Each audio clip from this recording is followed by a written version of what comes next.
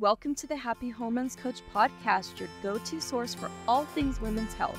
I'm here to guide you through the ups and downs of hormonal changes, helping you understand how these shifts impact every aspect of your life. So, whether you're in the perimenopause phase or really any other phase of life, looking to improve your overall well being, or just seeking practical tips on stress management, nutrition, and fitness, then this podcast is for you.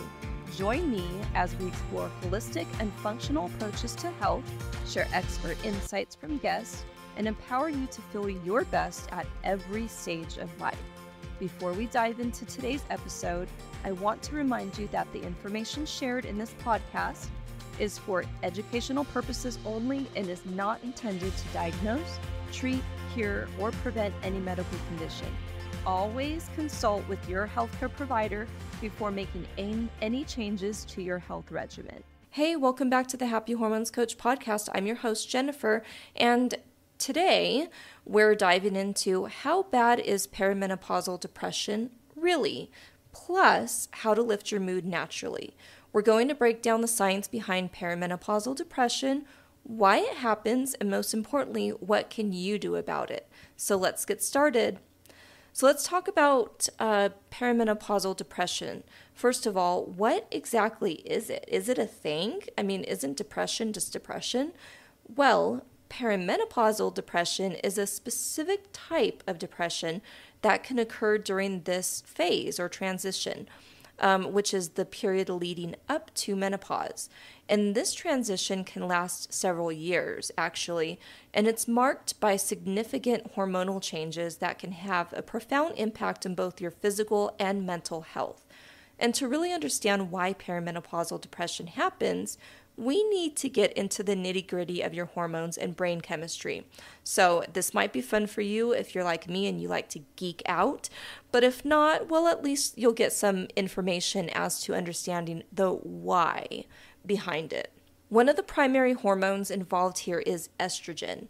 Estrogen isn't just responsible for regulating your menstrual cycle, it also has a significant impact on your brain, particularly in how it interacts with neurotransmitters, um, the chemical messengers that transmit signals to your brain. And one of the most important neurotransmitters affected by estrogen is serotonin. Serotonin is often called the happy hormone because it plays a crucial role in regulating your mood, anxiety, and overall emotional well being. It helps stabilize your mood, promotes feelings of happiness, um, and it even helps regulate your sleep wake cycle. During perimenopause, your estrogen levels can fluctuate wildly. Sometimes they drop significantly, and most times they do, and other times they might surge. And these fluctuations can lead to a decrease in serotonin production, which in turn can trigger symptoms of depression, anxiety, and mood swings. So it's not just estrogen that's kind of in this flux state. Progesterone, which is another key hormone, also plays a role. Progesterone is known for its calming effects on the brain because it enhances the activity of GABA, G A B A, a neurotransmitter that acts as your brain's natural tranquilizer, basically. And GABA helps calm the nervous system and promotes relaxation. During perimenopause, progesterone levels also decline which can lead to reduced GABA activity. And this reduction can make you feel more anxious, irritable, and restless, further contributing to the signs or symptoms of depression. Now, estrogen also influences dopamine and norepinephrine, two trans- neurotransmitters that are crucial for, re- for regulating mood, motivation, and energy levels. Dopamine is involved in the brain's reward system. It's what makes you feel pleasure and satisfaction from activities that you enjoy, kind of like habits, right? That loop reward system.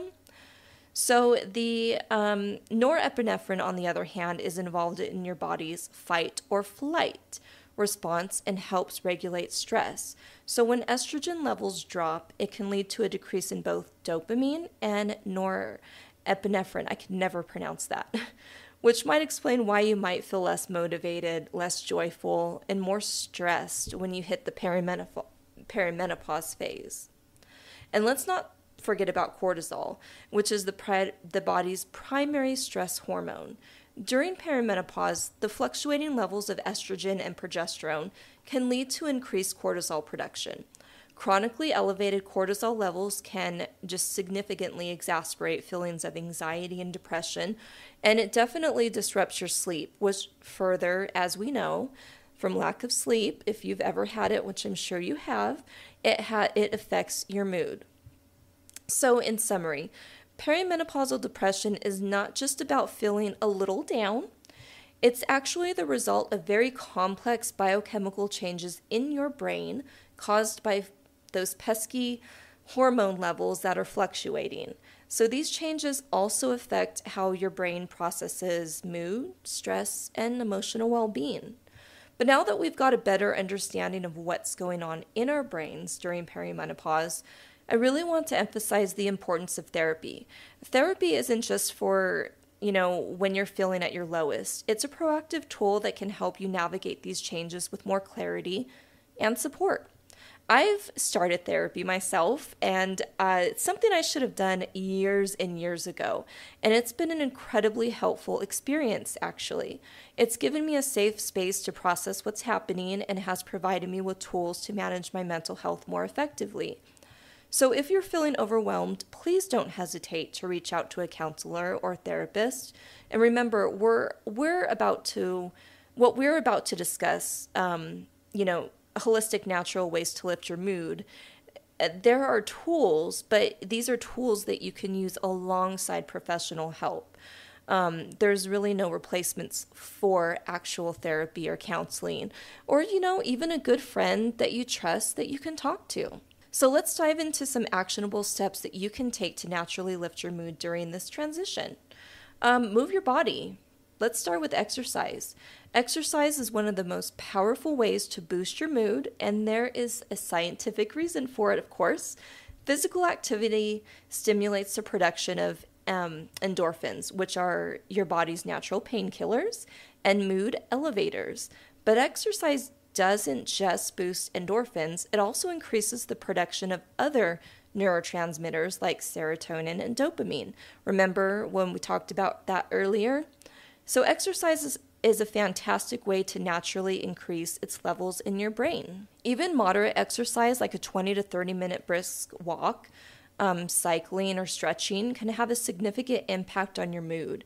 The key is to find something that you enjoy, even dancing, in the kitchen, cleaning, whatever that looks like to you, and make it a regular part of your routine. Consistency is crucial because regular physical activity helps stabilize your hormone levels and improves your brain's ability to regulate your mood. So, next up, let's talk about nutrition. What you eat directly impacts your brain chemistry and mood. Focus on foods rich in omega 3 fatty acids such as salmon, walnuts, flax seeds. Um, omega 3s are essential for brain health because they help build and repair our brain cells and reduce inflammation, which obviously affects our mood. Leafy greens like spinach and kale are also important because they contain folate, a um, B vitamin crucial for serotonin production. And low levels of folate have been linked to depression, so make sure that you're getting enough through your diet for sure. Um, additionally, magnesium rich foods like uh, nuts, seeds, and dark chocolate can help calm the nervous system and support brain uh, healthy brain function. And don't forget about the gut brain connection. Um, your gut produces many of the same neurotransmitters as your brain, including serotonin, and a healthy gut means a happier brain. So incorporate probiotics if needed, although that's not one I would start with. Um, but you can also get it through fermented foods like yogurt, kefir, and there are non dairy options um, as well for either of those and uh, like miso and sauerkraut into your diet, and that supports a healthy gut. And sleep is another essential factor in managing your mood. Um, during this phase, sleep disturbances are common due to all the hormonal fluctuations, but getting enough quality sleep is vital for your mental health. Sleep is when your brain clears out toxins and consolidates memories, which is crucial for emotional regulation. And to improve your sleep, establish a regular sleep schedule, which you'll hear me frequently talk about, like a bedtime or wind down schedule, and um, create that routine and, and just kind of make it a habit. And this might include activities like taking a warm bath or a warm shower, um, practicing some gentle stretching, um, relaxing with a book instead of a TV, anything like that. And if you're having trouble falling asleep, you can consider natural supplements like magnesium. Um, that does help, or herbal teas uh, like chamomile, and that can promote like you know relaxation before you, you go to sleep. And mindfulness and meditation are powerful tools for managing stress and improving our mood. Uh, these practices help you focus on the present moment um, reducing the tendency to dwell on negative thoughts, which is often a key factor um, in depression. And mindfulness practices increase the production of serotonin and other feel good neurotransmitters while also reducing cortisol levels. Even a short daily meditation, like five to 10 minutes, can have a big impact. You don't need to be a meditation expert at all to benefit. Just simple breathing exercises or guided meditations through apps like Calm, I have that app, or Abide, um, if you're a Christian, I have that app as well um, or even Insight Timer can help you get started. And just connect with others. Social connection is a critical aspect of mental health. Human beings are wired for connection intera- and interacting with others. Um, it can help you release oxytocin, which is a hormone that promotes feelings of, it's like a bonding hormone, um, promotes feelings of trust and comfort. During perimenopause, it's common to feel isolated, especially if you're dealing with mood swings or depression, but staying connected can help lift your spirits.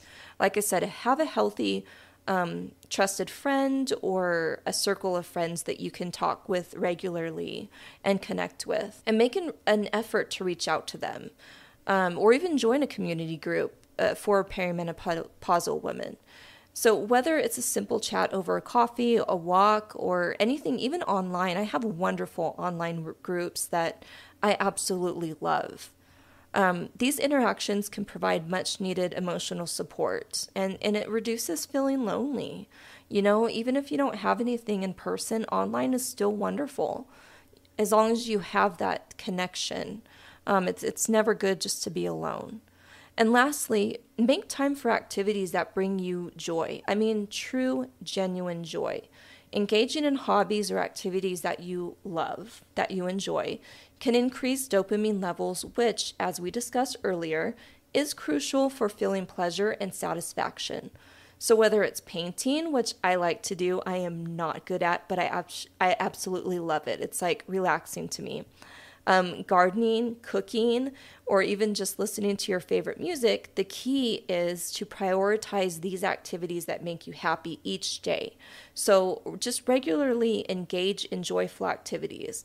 Um, that can help counterbalance the stress and emotional challenges that come with just being in perimenopause, but also that come with your day to day lives and it helps you build resilience and maintain a positive outlook. So, Again, I'm just going to kind of briefly go over those tips. Move your body, exercise to boost endorphins, um, serotonin, and dopamine.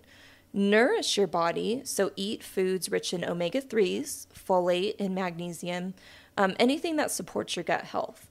Prioritize sleep, establish a regular sleep routine to support emotional regulation, and practice mindfulness. Use meditation um, to manage stress and improve your mood connect with others, stay socially connected to boost that oxytocin or bonding hormone, and, you know, reduces loneliness. Engage in joyful activities. Prioritize activities that bring you happiness, something that you love, whatever it is.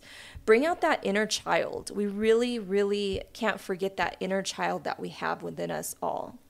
And these are all simple, actionable steps that you can take today to help you manage your mood during this transition. But remember, if you're feeling overwhelmed, it's okay to seek help.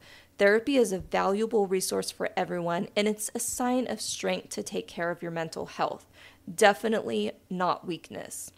That's it for today's episode. I hope you found this information helpful and even empowering just to learn a little bit more and you can take control. Start to take control of your health and your moods. Um, if you enjoyed this episode, please subscribe, leave a review, and share it with a friend who might benefit from this information. Um, and don't forget, we have trying to do two episodes a week, so stay tuned um, for that. And until next time, keep those hormones happy. That's what I'm here for. Stay fabulous and remember you are stronger than you think. Until next time. Thank you for tuning in to the Happy Hormones Coach podcast. I hope you found today's episode insightful and empowering. Remember, taking charge of your health is a journey, and I'm here to support you every step of the way. If you enjoyed this episode or any of the other episodes, please be sure to share, subscribe, rate, and leave a review. It does help me to reach more women like you who are striving for optimal health and happiness. And don't forget to follow me on social media for daily tips and inspiration. Until next time, stay healthy, stay happy, and keep thriving.